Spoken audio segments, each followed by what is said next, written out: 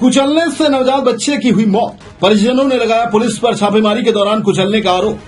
गिरिडीह। झारखंड के गिरिडीह में पुलिस पर परिजनों ने नवजात बच्चे को अनजान वश कुचल कर मारने का आरोप लगाया है। गिरिडीह ज़िले के देवरी थाना क्षेत्र के कोसो गोंदो दीघी गाँव में चार दिन पूर्व जन्मे नवजात बच्चे की मौत हो गई है।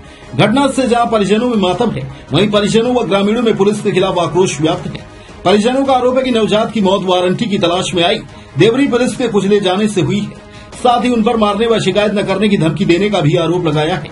इधर घटना की जानकारी मिलने के बाद वरिष्ठ अधिकारियों के निर्देश पर जाँच शुरू हो गई है। जानकारी देते हुए मृत नवजात के परिजनों ने बताया कि भूषण पांडे को गिरफ़्तार करने के लिए बुधवार की अहले सुबह देवरी थाना प्रभारी संगम पाठक के नेतृत्व में पुलिस की टीम उनके घर आई थी। पूरे घर में भूषण पांडे को खोजा जा रहा था। पुलिस को देखते ही सभी सदस्य घर को छोड़कर निकल गए थे। इस दौरान चार दिन पूर्व जन्मा नवजात ही घर के कमरे में बिस्तर पर सो रहा था। पुलिस के जाते ही जब वे घर पहुँचे तो बच्चे के शरीर में कोई हलचल होते उन्हें नहीं मिली।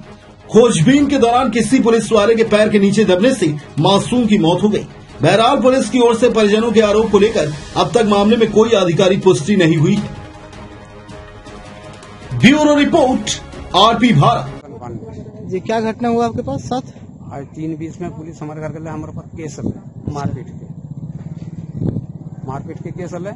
तो हमारे घर गए पुलिस पुलिस तो कैमरिया ठोक ठोक के कैमरिया कैमरिया जब ठोक ठोक के तो कैमरिया ना खोल खोलिए कैमरिया ना खोलने के बाद में हम कोई तरह से भाग के वहाँ से निकल गए। तो पुलिस में बाइक ज़बरदस्ती कैमरा के दल के, मैंने धके दल के खोल और खोलने के बाद में अंदर घरा में घुस गए। और घरा में घुस गए बाद में जंगल पर बचवा सुतल रहे तो वो तीन वहाँ घर में पुलिसवा जब घरा घुसले तो पुलिस गए बाहर हुए।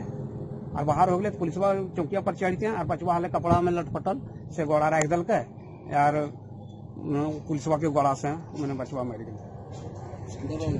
दमदार निर्माण का भरोसा, लाल स्टील टीएमटी बार्स। हर निर्माण के लिए उपयोग लाल स्टील टीएमटी बार्स। रिश्ता, मजबूती का।